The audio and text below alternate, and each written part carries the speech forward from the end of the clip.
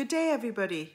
So, the other day I spoke about having this heart brain harmony, and I promised that I will speak again about why do we need to have it and how can we go about getting this heart and the brain coherence to take place in the body. Now, Dr. Rollin McCraty, um, he is a part of the, the founder of the HeartMath Institute. Now, he is part of the lecture, lectures that um, I've been learning about using technology and using digital technology to monitor how we feel and how we can actually uh, heal our bodies through finding ways and looking at feedback that we can get from digital technology. And it's just fascinating. So he talks about that the heart is connected to intuition, and that is the bridge to the higher self. Now, when I started to look further into this, and you know, we talk about the higher self, we hear people talk about the higher self, you know, especially if you're on that spiritual path. So, what is the higher self?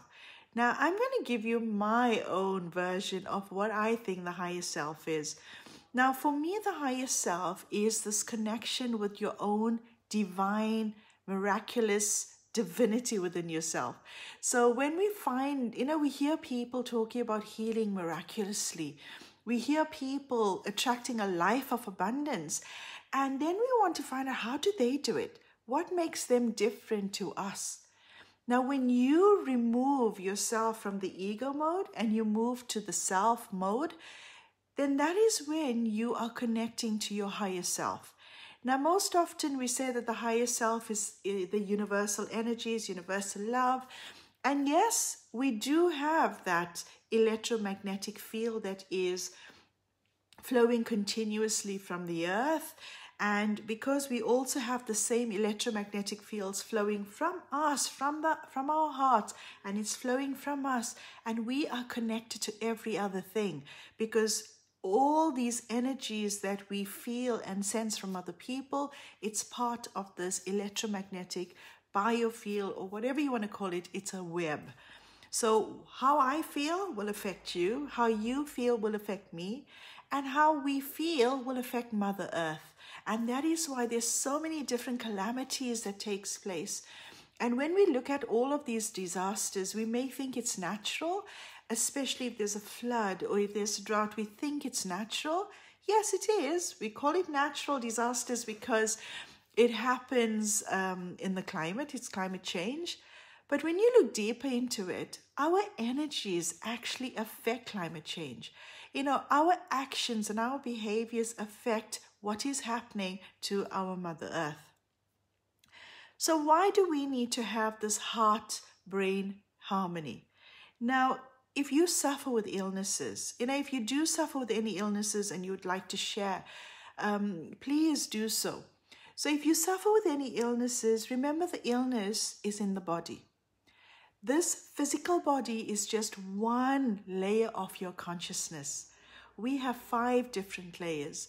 So, your physical body, this layer, the, the, the physical body that you are seeing when you look at yourself in the mirror, when we have these emotional traumas taking place in the background, it's actually taking place out of the physical body in the vital body, and that then feeds into the physical body, and that's where illnesses start to breed.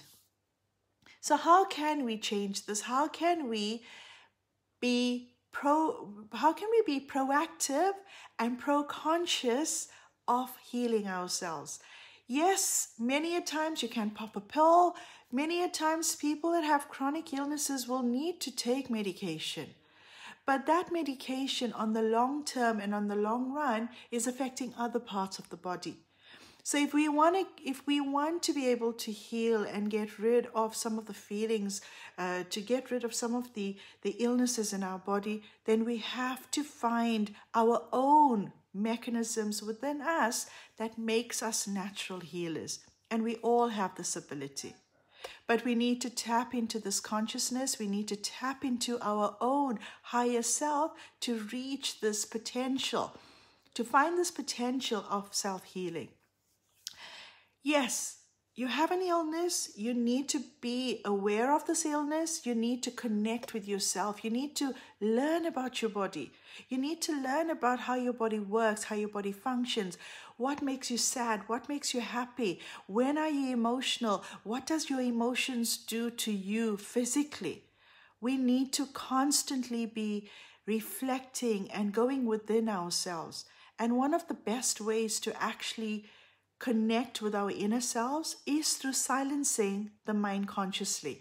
So when we silence the mind consciously by doing meditations, by doing yoga, by doing um, other activities like Tai Chi, you know, movement that allows you to reduce your brain waves. Because when you reduce your brain waves from beta waves, right down to maybe alpha or even theta waves, then you are able to take more control over your thoughts. You're able to take more control over what's happening inside of you. So once you recognize that you have an illness, and this illness is, you know, when you have an illness and your body is not working the way it should, it does make you upset. It does make you sad. It makes you frustrated. It makes you angry and it makes you worried. And because of all of these things cause more anxiety in the body, it takes your body longer to heal. So you have to distract the pain. You have to distract, you have to distract the illness by doing things like meditation, by go by you know, sleep. Sleep is one of the most powerful mechanisms to heal your body. If you are not getting between 7 to 9 hours of sleep a day, you every night, you will find that you will not have this harmony in your body. So you need to make sure that you switch off and you switch in. So when we switch off technology, we switch off the lights, we switch off um, and we, we follow the circadian rhythm of life. You know, we wake up in the morning when the sun rises, we go to bed and we, you know, we stop eating at a certain time when the sun sets all of this whole circadian rhythm will help us to connect within ourselves. Exercising is also very, very important, but most importantly, understand why we need to do this. You know, our heart, when it talks to the brain, it talks through, you know, it talks, it communicates with the brain, you know, through hormones, you know, through nerve impulses, through vibrations from our electromagnetic fields and also through pressure, you know, biophysical pressure waves. And these waves occur in our bodies constantly because our bodies are mainly made up of water, between 60 to 78% of water. Now, today I'm going to just talk about what happens when we don't have this, uh, this coherence or this harmony. So the first thing that happens is uh, you start to feel quite stressed. You feel anxious. You can get into a very depressive state, suicidal state. And I call this the sad thug. Stress, anxiety, depression, I call it the sad thug because it literally steals away your life. It steals away how you're feeling. It steals away, it steals away your present moment.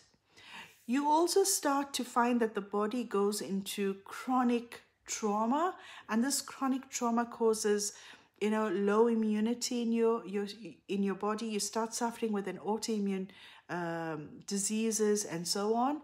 And because of this illnesses start to breed in the body. Because of that you have low immunity. And then when somebody is experiencing illness in the body they want to shut themselves away from everybody else. You know you find people when they go to the doctors especially with an autoimmune um, autoimmune uh, disease, uh, the doctors will put you onto steroids. You know, you, you because your body is not producing enough cortisol, uh, your body they will put you onto steroids, which is made up of cortisol, a lot uh, most most often, and the the this cortisol then changes the way you eat. It then makes you hungry, so you end up eating more. It then allows you to you know you you find that your body starts to change. You start to um, feel bloated. You start to to feel like you're putting on weight. And when this happens you want to just shut yourself away from everybody else. Most often this what ha- this is what happens. And then you lack the connection that you have with other people. See, we all are human beings, we're social beings. Like how we have to have our own harmony in our body, we also have to have social harmony because we all help each other to keep this balance in nature and in life. And, um, you know, when this happens, you feel unhappy. You feel unhappy because you feel that you constantly doubt yourself. You lose your confidence. And then because you are in this spiral, this downward spiral, what happens next? You start to attract misery. You start to feel sorry for yourself. You start to really, you start to go inside of yourself and you start to recognize how broken you are instead of finding that brokenness and fixing it. And I see so many of my clients in similar situations. They come to me when they are literally broken, where their physical body is suffering and struggling. I, uh, I see people with cancer, I see people with gut issues, I see people that have autoimmune diseases. And most often, 99% of most of these issues are caused because of stress and anxiety and depression in the body. So when all of these things happen, it becomes like a vicious cycle. You start feeling weak. You start feeling this innate weakness. You end up having poor sleep. You end up not eating properly. So then you start to develop gut issues. And then you find that you don't want to go out for exercising because you don't feel great about yourself. You don't feel confident about yourself. And then you end up finding you have even your, your physical state worsens then your mental and emotional state also affected. And this inner turmoil that takes place inside of you, it's hard to actually stop that monkey mind chattering constantly to you. And this is when you find it very difficult to ground, ground yourself and find that inner peace. And you find that you are constantly chasing something because you feel this discontentment. Now, the reality is, guys, that at this moment in the world, there's so much of disharmony. With COVID being around for such a long time, there's so many people losing loved ones. You know, we've had so many, we've had so many people die across the world, and each one of them that have passed away, that have passed away from this lifetime, has left family behind that's mourning for them, that's grieving for them. And that again becomes this, this, this turmoil and this trauma that takes place inside the body. So we need to make peace. We need to find peace within ourselves to heal ourselves so that we can start to project the energies that will help other people. So today we had our first, which I'm going to do many, one or you know many more.